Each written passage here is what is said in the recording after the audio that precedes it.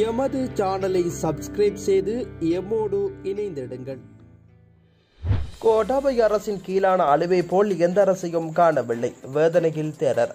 கோட்டாபய அரசாங்கத்தின் கீழ் முன்னெடுக்கப்படும் சுற்றாடல் அழிவு போல வேறு எந்த காலத்திலும் தான் இதுபோன்ற அழிவை காணவில்லை என ஓபல்பே சோபித தேரர் வேதனையில் தெரிவித்துள்ளார். தற்போதைய அரசாங்கம் பாரிய அளவில் சுற்றாடலை அளிக்கிறது மரங்கள் செடிகளை இந்தளவு அழிக்கும் யுகத்தை இதுவரை நாம் காணவில்லை. இதனை மிகவும் வேதனையுடன் தெரிவிக்கின்றோம். யாருடைய அதிகாரத்தை பயன்படுத்தி இவ்வாறு செய்கின்றனர். இருபதாவது திருத்த சட்டத்தின் மூலம் ஜனாதிபதிக்கு மென்மேலும் அதிகாரம் வழங்கியது நாட்டை பாதுகாக்கவே. அவர் பொறுப்புடன் சட்டத்தை நடைமுறைப்படுத்த தடைப்பட வேண்டும். அதனால் இடம்பெறும் காடழிப்பு சுற்றாடல் அழிப்பு மோசடிகள் என்பவற்றை உடனடியாக தடுத்து நிறுத்த வேண்டும்.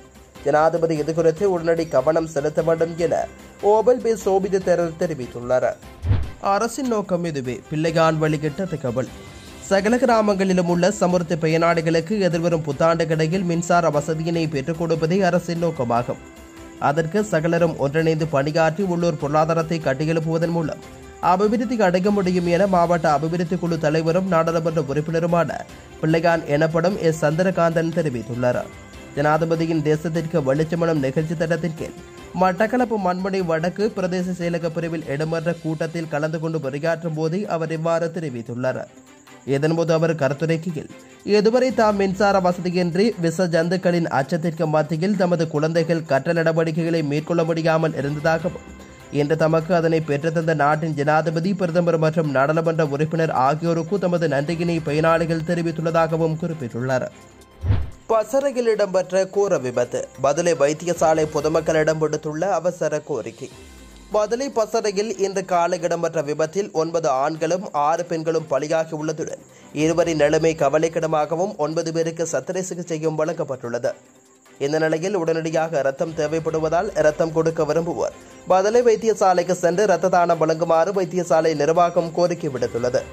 இதேவேளை பசறை பகுதியில் இடம்பெற்ற பேருந்து விபத்தில் உயிரிழந்தவர்களுக்கு முதற்கட்டமாக பதினையாயிரம் ரூபாய் நிதியுடன் வழங்க செந்தில் தொண்டமான் நடவடிக்கை எடுத்துள்ளார். ஊவா மாகாண ஆளுநர் மற்றும் பிரதம செயலாளர் ஆகியோருடன் கலந்துரையாடி குறித்த முடிவு எடுக்கப்பட்டுள்ளது. மேலும் விபத்தில் காயமடைந்தவர்களுக்கான நிதி உதவியை செய்யவும் நடவடிக்கை எடுக்கப்பட்டுள்ளது. அதேவேளை விபத்தில் உயிரிழந்தவர்களுக்கான சவப்பட்டிகளை பெற்றுக் கொடுக்கவும். லுணக்கல பிரதேச சபையின் தவிசாளருடன் கலந்துரையாடி செந்தில் தொண்டமா நடவடிக்கை எடுத்துள்ளார் எனவும் தெரிவிக்கப்பட்டுள்ளது.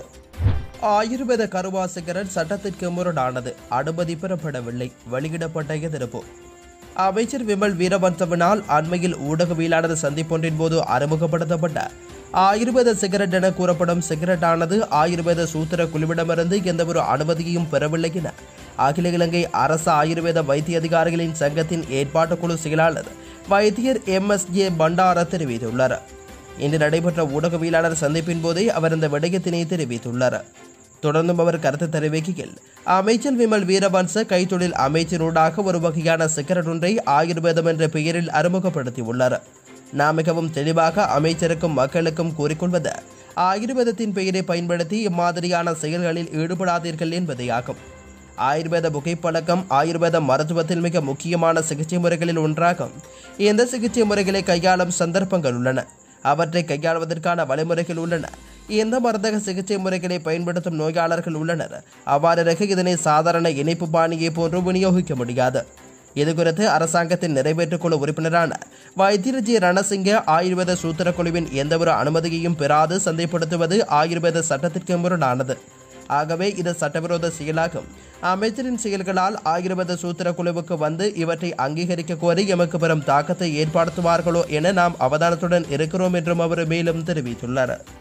இலக்கு வைக்கப்படும் இலங்கை முஸ்லிம் சமூகம் அச்சம் வெளியிட்டுள்ள சர்வதேச மன்னிப்பு சபை. இலங்கையில் முன்கூட்டிய தடுப்பு நடவடிக்கைகள் எவையும் முன்னெடுக்கப்படாவிட்டால் முஸ்லிம் சமூகத்தை இலக்கு வைக்கும் மனித உரிமை மீறல் சம்பவங்கள் அதிகரிக்கலாம் என்றும் அதன் விளைவாக நிலைபேறான சமாதானத்தை உறுதி செய்வதற்கான முயற்சிகள் பாதிக்கப்படக்கூடும் என்று அஞ்சுவதாக சர்வதேச மன்னிப்பு சபை தெரிவித்துள்ளது. இலக்கு வைக்கப்படும் இலங்கையின் முஸ்லிம் சமூகமும் அதிகரித்து வரும் ஓரங்கட்டப்படலும் என்ற தலைப்பில் சர்வதேச மன்னிப்பு சபையினால் வெளியிடப்பட்டுள்ள அறிக்கையிலேயே மேற்கண்டவாறு குறிப்பிடப்பட்டுள்ளது. அவ்வறிக்கையில் மேலும் தெரிவிக்கப்பட்டுள்ளதாவது அண்மை காலத்தில் இலங்கை அரசாங்கத்தினால் மேற்கொள்ளப்பட்டுள்ள சில தீர்மானங்கள் முஸ்லிம் சமூகத்தை இலக்கு வைத்திருப்பதுடன் அந்த சமூகத்தை ஓரங்கட்டும் வகையிலும் அமைந்துள்ளன. அமைச்சரவையில் முன்வைக்கப்பட்ட யோசனைகள் தீர்மானங்கள் மற்றும் அரசாங்கத்தினால் வெளியிடப்பட்ட வழிகாட்டல்கள் என்பன இலங்கையின் மொத்த சனத்தொகையில் ஒன்பது சதவீதமாக உள்ள முஸ்லிம் சமூகத்தின் மீது பாகுபாடு காண்பிக்கும் வகையில் அமைந்துள்ளமை அவதானிக்கப்பட்டுள்ளது. குறிப்பாக அண்மை காலத்தில் கொரோனா வைரஸ் தொற்றினால் உயிரிழப்போரின் சடலங்களை கட்டாய தகனத்திற்கு உட்படுத்தும் வகையில் அரசாங்கத்தினால் மேற்கொள்ளப்பட்டிருந்த தீர்மானம் மற்றும் முஸ்லிம் சமூகத்தை இலக்கு வைத்து இடம்பெற்ற வன்முறைகள் போன்றவற்றை உதாரணமாக குறிப்பிட முடியும்.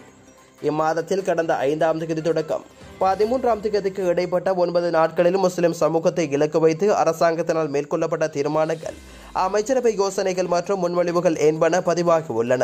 அவற்றின் ஃபுர்கா மற்றும் நிகாபை தடை செய்வதற்கான அமைச்சரவை யோசனை மதரசா பாடசாலைகளை தடை செய்வதற்கான அமைச்சரவை யோசனை நாட்டில் வெளிவரும் அனைத்து இஸ்லாமிய நூல்களையும் கண்காணிப்பதற்கு உட்படுத்துதல் இன மற்றும் மத ரீதியிலான அடிப்படைவாத செயல்கள் வன்முறைகளில் ஈடுபடுவோரை புனர்வாழ்விற்கு உட்படுத்துவதற்கான வழிகாட்டல் போன்ற விடயங்கள் பதிவாகியுள்ளன எனவும் சர்வதேச மன்னிப்பு சபை மேலும் சுட்டிக்காட்டியுள்ளது. கோட்டாபய மஹிந்த அரசாங்கத்தை ஆட்சிபீடமேற்றிய பௌத்த தேரர்களின் எதிர்ப்பிலும் சமர்ப்பிக்கப்படவுள்ள வரைவு. கடந்த மூன்றரை வருடங்களுக்கு மேலாக ஒத்திவைக்கப்பட்டுள்ள மாகாண சபைகளுக்கான தேர்தலை நடத்துகின்ற புதிய வரைவு அமைச்சரவையில் எதிர்வரும் இரண்டு வாரங்களில் சமர்ப்பிக்கப்பட உள்ளது என மாகாண சபைகள் அமைச்சர் ஜானக பண்டார தின்னகோன் தெரிவித்துள்ளார். மைத்திரி ரணில் தலைமையிலான கடந்த நல்லாட்சி அரசாங்கத்தின் காலத்தில் கலைக்கப்பட்ட மாகாண சபைகளுக்கான தேர்தல் கடந்த மூன்று வருடங்களுக்கு மேலாக ஒத்திவைக்கப்பட்டு வருகின்றது. எனினும் இந்த தேர்தலை நடத்துவதற்கான வரைவினை எதிர்வரும் இரண்டு வாரங்களுக்குள் அமைச்சரவையில் சமர்ப்பிக்க தீர்மானித்துள்ளதாக மாகாண சபைகள் அமைச்சர் ஜனக பண்டார தென்னகோன் தெரிவித்துள்ளார். இதேவேளை மாகாண சபைகளினால் அரசாங்கத்திற்கு நட்டம் ஏற்படுவதாகவும் அந்த தேர்தலை அரசாங்கம் நடத்தக்கூடாது என்றும் கூட்டாபிய மகிந்த அரசாங்கத்தை ஆட்சிபீடம் ஏற்றுவதற்கு பெரிதும் பாடுபட்ட பௌத்த தேரர்களும் அரசியல் தலைவர்களும் எதிர்ப்பு வெளியிட்டு வருகின்றனர். இந்த எதிர்ப்பையும் மீறி கடந்த வாரம் அரசு தலைவர் கோட்டாபய ராஜபக்ச மற்றும் பிரதமர் மஹிந்த ராஜபக்சவை சந்தித்த ஸ்ரீலங்கா பொதுஜன முன்னணியின் பின்வரிசை நாடாளுமன்ற உறுப்பினர்கள் மாகாண சபை தேர்தலை நடத்த கோரிக்கை விடுத்துள்ளனர். இவர்கள் தவிர மாகாண சபைகளில் உறுப்பினர்களாக செயல்பட்ட பொதுஜன முன்னணியினரும் அரசு தலைவர் கோட்டாபய ராஜபக்சவை சந்தித்து தேர்தலை விரைந்து நடத்துவதற்கான கோரிக்கையையும் விடுத்துள்ளதாக தெரிவிக்கப்படுகின்றது. இந்த நிலையில் ஸ்ரீலங்கா பொதுஜன முன்னணி அரசாங்கத்துக்குள் ஏற்பட்டிருக்கும் நெருக்கடி குறித்து தீர்மானங்களை எடுக்க ராஜபக்ச குடும்பத்தினர் கடந்த சில தினங்களுக்கு முன்னர் சந்திப்புரை நடத்தியிருந்ததாகவும் கூறப்படுகின்றது. அரசு தலைவர் கோட்டாபய ராஜபக்ச பிரதமர் மகேந்திர ராஜபக்ச. ராஜாங்க அமைச்சர் சமல் ராஜபக்ச மொட்டு கட்சியின் ஸ்தாபகரான பசல் ராஜபக்ச உள்ளிட்டவர்கள் இதில் கலந்து கொண்டிருந்தனர்.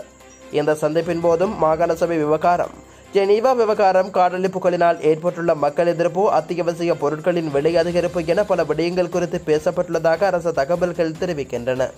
காணி போலீஸ் அதிகாரங்களுடன் மாகாண சபை தேர்தலை நடத்த இடமளிக்க மாட்டோம் ராஜாங்க அமைச்சர் திட்டவட்டம். மாகாண சபைக்கான அதிகாரங்களை முழுமையாக நீக்கிய புதிய அரசியலமைப்பு உருவாக்கப்பட்ட பின்னர் மாகாண சபை தேர்தலை நடத்த வேண்டும் என ராஜாக்க அமைச்சர் பித்ர விக்ரமநாயக்க தெரிவித்துள்ளார். காணி போலீஸ் அதிகாரங்களுடன் மாகாண சபை தேர்தலை நடத்துவதென்றால் அதற்கு ஒருபோதும் இடமளிக்க மாட்டோம் எனவும் அவர் குறிப்பிட்டுள்ளார். ஊடகங்களிடம் கருத்து தெரிவிக்கும் போதே அவர் அந்த விடயத்தினை குறிப்பிட்டுள்ளார். மாகாண சபை தேர்தலை நடத்தியாக வேண்டும் என்ற தமிழ் அரசியல் தலைமைகள் வலியுறுத்தியுள்ள நிலையிலும் தேர்தலை நடத்துவதற்கான வழிமுறைகளை ஆராய வேண்டும் என ஜனாதிபதி அண்மையில் தெரிவித்துள்ள நிலையிலும் மாகாண சபை தேர்தல் குறித்து அரசுக்குள் இருவேறு நிலைப்பாடுகள் காணப்படுகின்றன. இந்த நிலையில் தேர்தல் குறித்து ராஜாங்க அமைச்சர் வித்ர விக்ரமநாயக்க தெரிவிக்கையில் மாகாண சபை தேர்தல் நடத்தப்பட வேண்டுமா அல்லது கைவிடப்பட வேண்டிய ஒன்றா என்பது குறித்து முதலில் ஆழமாக ஆராய்ந்த சகல தரப்புடனும் பேச்சுக்களை முன்னெடுத்து அதன் பின்னர் தீர்மானிக்க வேண்டிய ஒன்றாகும். மாகாண சபை தேர்தலை நடத்தினால் அதற்கான செலவுகள் அவ்வாறு அதிகளவு பணத்தை வரைகம் செய்வதால் மக்களுக்கு கிடைக்கும் நன்மைகள் என்ன என்பது குறித்தும் சிந்திக்க வேண்டும். இலங்கைக்கு மாகாண சபை முறைமை அவசியமல்ல என்பதே எனது கருத்தாகும். எனது இதை நிலைப்பாட்டில் அரசில் பலர் உள்ளனர். எனினும் அரசாக தீர்மானம் எடுக்கையில் தனி தீர்மானம் எடுக்காது சகலரும் இணைந்து பேச்சுகளின் மூலமாக தீர்மானிக்க வேண்டும். மாகாண சபை முறைமை என்பது ஒரு சிலரின் அதிகார மோகத்துக்காக வேறு நாடுகளின் தலையீட்டில் எமக்கு திணிக்கப்பட்டதாகும். நாம விரும்பி இதனை பெற்றுக்கொள்ளவில்லை. எமது அரசமைப்பில் எமக்கு பிடிக்காத ஒரு விடயத்தை உள்நுழைத்துக் கொண்டு இத்தனை காலமாக கொண்டு செல்கின்றோம். எனவே இனியும் எமக்கு இவ்வாறான அனாவசிய சரத்துகள் அவசியமா என்பதையும் நாம் சிந்தித்து பார்க்க வேண்டும். இப்போது எமது நாட்டுக்கு புதிய அரசமைப்பு ஒன்றை அவசியப்படுகின்றது. எனவே புதிய அரசமைப்பின் பின்னர் தேர்தல் குறித்து சிந்திக்க வேண்டும். இப்போதுள்ள முறைமைக்கு அமைய அதிகாரங்களுடன் கூடிய மாகாண சபை தேர்தலை நடத்தக்கூடாது. முதலில் புதிய அரசமைப்பை உருவாக்கி மாகாண சபைக்கான அதிகாரங்களை நீக்கிவிட்டு தேர்தலை நடத்த வேண்டும். அவ்வாறு இல்லையில் அரசிலிருந்து கொண்டே இந்த முறைமையை நாம் முழுமையாக எதிர்ப்போம் என அவர் குறிப்பிட்டுள்ளார்.